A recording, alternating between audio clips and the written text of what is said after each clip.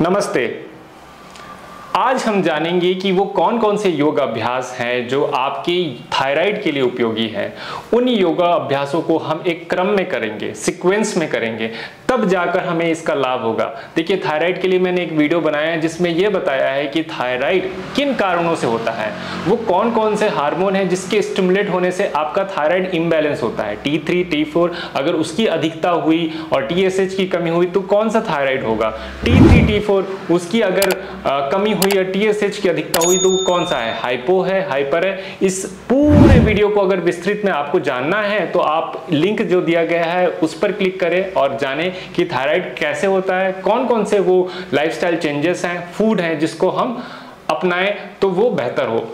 Now today we are going to talk about कि वो कौन कौन से आसन हैं जो आपको थायराइड के लिए उपयोगी हो गया। देखिए थायराइड कंठ प्रदेश में एक ग्रंथ होता है जिसके इनएक्टिव होने से इम्बैलेंस होने से ये समस्याएँ होती हैं। वेट का बढ़ जाना या वेट का कम होना साथ ही साथ बालों का गिरना या फिर शरीर में एनर्जी का कम होना ये सारे लक्षण जो है वो थायराइड के हैं। थायराइड एक बहुत बड़ी समस्या बनती हुई बन, बनती जा रही है हमारे देश में और हमको समझना होगा कि इन पर कैसे निजात पाया जा सकता है। Yoga one of the best way to overcome thyroid तो हम इन चीज़ों के लिए योगा का अभ्यास करते हैं। सीधी, सबसे पहले अभ्यास के लिए हम क्या करेंगे?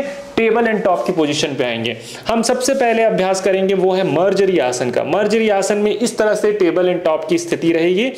अब दोनों पंजों को फैला लिया, सांस लेते हुए अपने हेड को ऊपर करें, अपने कमर को नीचे करें आर्च करें। सांस छोड़ते हुए आप अपने हेड को नीचे करें, कमर को ऊपर करें, हंच करें। सांस लेते हुए आपने अपने कमर को नीचे किया हेड को ऊपर किया। सांस छोड़ते हुए आपने अपने कमर को ऊपर किया हेड को नीचे किया। सांस लेते हुए आप अपने कमर को नीचे करें हेड को ऊपर करें। इसे हम कहते हैं मर्जरी आसन। इंग्लिश में हम इसे कहते हैं cat and camel cat cow और इस आसन को कम से कम छह से सात बार करें। दूसरी आसन की तरफ़ हम बढ़ेंगे। दूसरा आसन है जिसमें हम दोनों एल्बो को, ये देखिए, हम अपने पंजे के पास में रख दिया। शरीर की स्थिति बनी हुई है। आपका नी और हिप एक लाइन पे हो। आपका ये ना हो कि हिप पीछे चला जाए या आगे चला जाए। इस स्थिति पर ध्यान दीजिए। आपके दोनों नी जो है समान दूरी पर हो। धीरे से आप अपने एल्बो को, हेड को फ्लोर पे डाल दें। और यहाँ रुकें। और आप पाएँगे कि कितनी अच्छी तरह से आपका ब्लड फ्लो जो है वो हेड की तरफ़ जाएगा, जिसकी वजह से आपको बहुत राहत मिलेगी। Now be there in this position for a while आप पाँच काउंट के लिए बने रह सकते हैं इस पे। जिनको भी कंफर्ट है। अगर जिनको दिक्कत है, वो अपने कंधे को, अपने शोल्डर को इस तरह से बैंड करके एल्बो को बैंड करके भी रह सकते हैं। देखिए, जिस स्थिति में आप कंफर्ट है, उस स्थिति में रहिए। तब जाकर आपको इस आसन का लाभ मिलेगा। धीरे से वापस आए। नाउ धीरे से आप इस तरह से वज्रासन की स्थिति में बैठ सकते हैं। वज्र आसन में बैठने के बाद हम शशांक आसन की तरफ़ बढ़ेंगे, जो आपके थायराइड ग्लैंड को स्टिमुलेट करेगा। दोनों नी को धीरे से फैला दें और दोनों पैरों, दोनों हाथों को इस तरह से सीधे ले जाते हुए आसन में रुकें, ठहरें। इस तरह से आपको जो है, इस आसन का पूरा लाभ मिलेगा। इसमें भी कोई ज़ोर ज़बरदस्ती ना करें। इस तरह से बने रहें आसन में। आप देख सकते हैं कि बॉडी कितने अच्छे से स्ट्रेच हो रहा है। कुछ काउंट के लिए यहाँ पे बने रहें। और धीरे से वापस आ जाए। अगर आप इस तीन से चार आसन को ही करते हैं तो आपके पाएँगे कि आपके स्पाइन खुलने लगी है, आपका ब्लड फ्लो चेस्ट की तरफ़ जाने लगा है, आपके कंठ प्रदेश, जहाँ पर थायराइड ग्लैंड है, उसका स्टिमुलेशन स्टार्ट हो जाएगा और वहाँ से आपके हार्मोन जो है वो बैलेंस होने चालू हो जाएँगे। नेक्स्ट आसन अधोमुख श्वानासन तो हम लोग टेबल एंड टॉप की स्थिति में आ गए। यहाँ से सांस लेते हुए आप अपने दोनों नी को ऊपर उठाएँ, हिप को ऊपर करें और इस स्थिति में बने रहें। ना शुरुआती दौर पे आप अपने थोड़े से हिल को ऊपर उठा सकते हैं विच इज़ कंफर्टेबल अगर आप ज़्यादा कंफर्ट हैं तो दोनों आप पंजे को, पैरों को दबा सकते हैं और अपने हिप को ऊपर करके इस स्थिति में बने रह सकते हैं कुछ देर। जैसा भी कंफर्ट हो। अगर आपको कंफर्ट नहीं है तो थोड़ा सा आप हिप को ऊपर उठाएँ, नी को बैंड रखें और इस स्थिति में रहें। चार से पाँच काउंट पर रहने के बाद धीरे से अपने नी को ड्रॉप करके वापस आ जाए। तो ये है sequence for the thyroid thyroid के अभ्यास के लिए कौन कौन से आसन है? अब हम नेक्स्ट आसन की ओर बढ़ेंगे, जो आसन आपके थायराइड ग्लैंड को एक्टिवेट करने में स्टिमुलेट करने में हेल्प करता है, मदद करता है। तो नेक्स्ट आसन है भुजंगासन। भुजंगासन के लिए हम पेट के बल लेट जाएँगे। सांस लेते हुए चेस्ट को धीरे से ऊपर उठाएँ। सांस छोड़ते हुए धीरे से नीचे जाएँ। सेकेंड राउंड करें। सांस लेते हुए धीरे से चेस्ट को ऊपर उठाएँ। सांस छोड़ते हुए धीरे से नीचे आए। फिर से सांस लेते हुए चेस्ट को ऊपर उठाएँ। जितना कंफर्ट हो, उतना ही उठाएँ। अपने शोल्डर को कानों से दूर रखें, जितना हो सके। शोल्डर को इस तरह से ना मिलाएँ। इस स्थिति में आपका आसन जो है, वो सही नहीं होगा। We have to see the alignment which is very important keep your shoulder away from your ear and slowly धीरे से आप चेस्ट को ऊपर उठाएँ।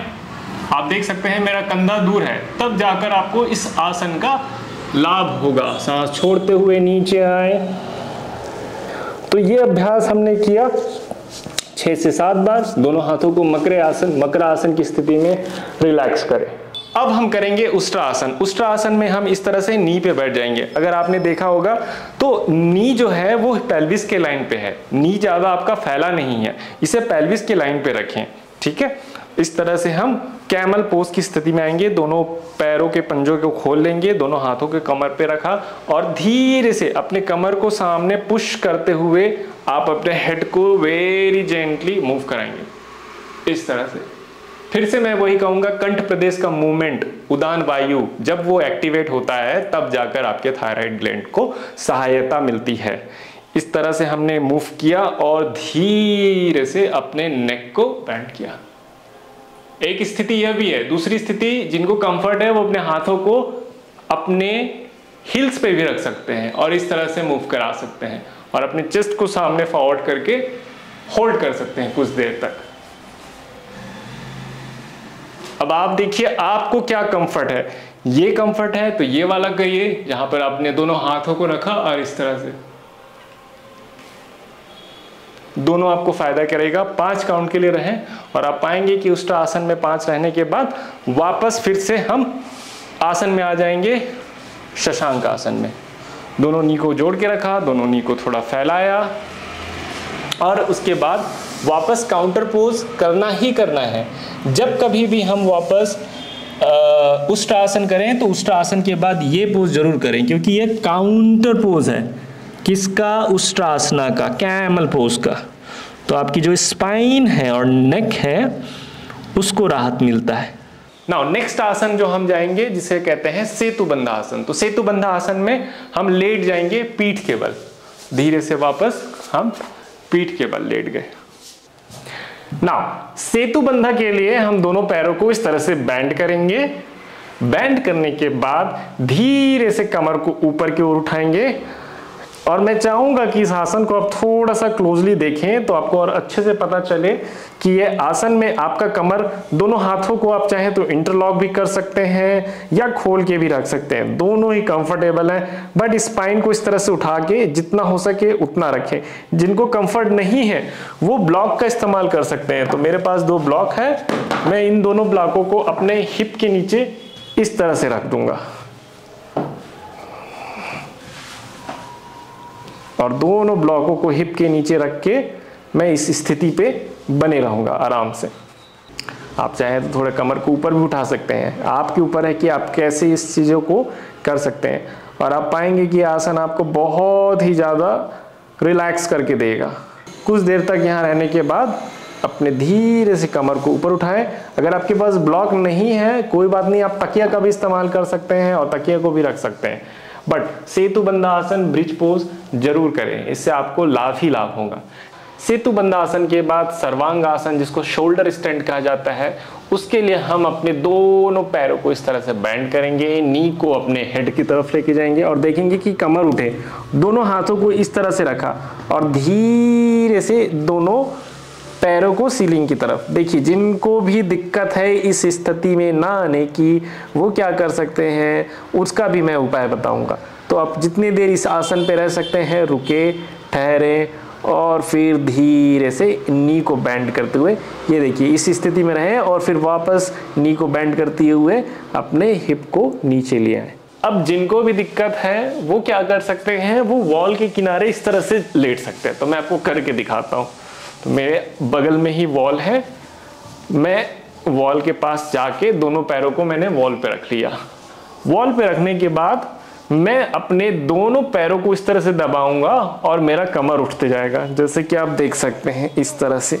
ये देखिए, दोनों पैर मेरा वॉल पे है और मैंने उठा के रखा। इस स्थिति में बने रही है। ये बहुत आसान तरीका है। आई थिंक ये किया जा सकता है। जिनको शुरुआती दौर पे उनके वज़न ज़्यादा होने से कमर उठता नहीं है, एक पैर को आप इस तरह से सीधा कर सकते हैं, फिर वापस उसे दीवार पे रख सकते हैं, दूसरा पैर सीधा रख सकते हैं, वापस रख सकते हैं। यहाँ तक कि अगर आपको लगे, क्योंकि दोनों एल्बो जो है आपकी ज़मीन पे है, आपने हिप को अच्छे से अपने पाम पे होल्ड कर रखा है तो आप चाहें तो एक पैर और दूसरा पैर इस स्थिति में भी बन सकते हैं। लेकिन अगर आपके, आपका वज़न ज़्यादा है और आपकी कमर पे प्रेशर आ रहा है तो आप इस स्थिति में रहें।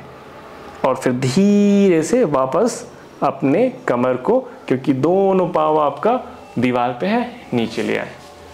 तो एक सहज स्थिति है, जो कि ये आसन को किया जा सकता है, और इससे आप प्रैक्टिस करेंगे तो बिल्कुल हो जाएगा।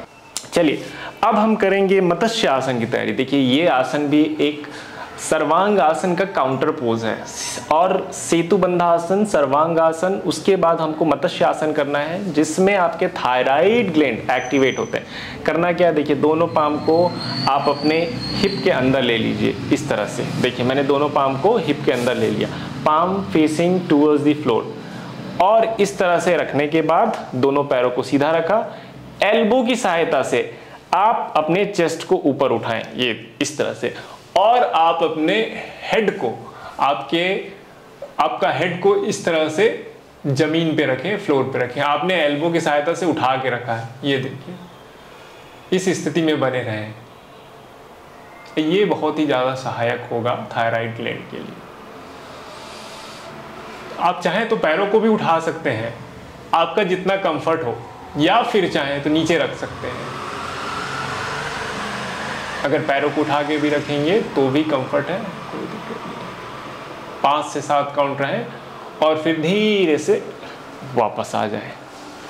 वापस आने के बाद पूरे शरीर को शव आसन के लिए रिलैक्स करें, पैरों को फैला दें and relax your body completely just relax अब करेंगे हम उज्जाई प्राणायाम। उज्जाई प्राणायाम में क्या होता है कि हम अपने कंठ प्रदेश को कॉन्ट्रैक्ट करते हैं, सांसों का लेना और छोड़ना जारी रहता है, जिससे एक सूदिंग ओशन की आवाज़ आती है। अगर मैं आपको उदाहरण तौर पर कहूँ तो आप समझिए एक आपको मिरर आपके फेस के सामने रखा और आप सांस छोड़ेंगे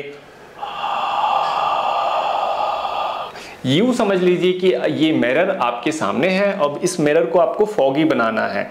तो फॉगी बनाने के लिए आप क्या करेंगे? माउथ ओपन करके बस इसी तरह का आवाज़ आएगा उज्जाई में आपके कंठ प्रदेश से। तो हम उज्जाई प्राणायाम करेंगे कुछ राउंड के लिए। आँखें बंद किया, लंबी गहरी सांस ली।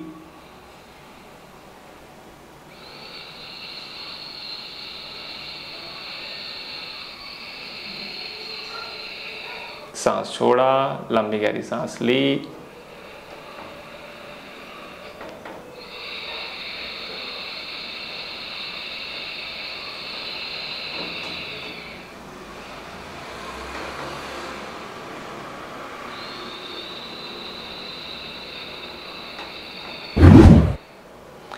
तो इस तरह से आप उज्जाई ब्रीदिंग का अभ्यास करें, कम से कम minimum seven to eight times. और तब जाकर आपको इसका लाभ मिलेगा। यह अभ्यास बिल्कुल जारी रखें। मैंने एक वीडियो में बताया कि थायराइड ग्लैंड में कौन कौन से फ़ूड आप ले सकते हैं, ये कैसे आपके बॉडी में उत्पन्न होता है, और कौन से योग आसन करते हैं, जिसकी वजह से आप थायराइड को क्योर कर सकते हैं। तो इसी तरह से वीडियो के लिए हमारे साथ बने रहिए। मैं एक पूरी श्रृंखला में सारी वीडियो लेके आऊँगा, जिसमें थायराइड ग्लैंड, डायबिटीज़, और भी जो लाइफस्टाइल डिसीज है, उसके बारे में मैंने अच्छी तरह से आपको बताया हुआ है।